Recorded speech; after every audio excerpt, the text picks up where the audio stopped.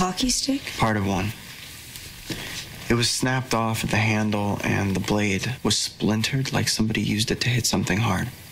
And it was buried. I, I thought it was some old junk until your dad saw it. What did he say? At first, I thought he was angry. Now, I think he might have been scared.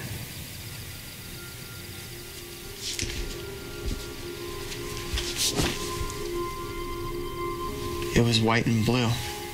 Those are rosewood colors. There was a piece of tape on what was left of the handle. It had Hastings written on it. Was that yours or Melissa's? It's just an old practice stick I use sometimes. It was Melissa's. It'll do. No, it's it's like this. Oh. Ali, when did you become so interested in field hockey? I'm not. Yet. I'm just considering my options.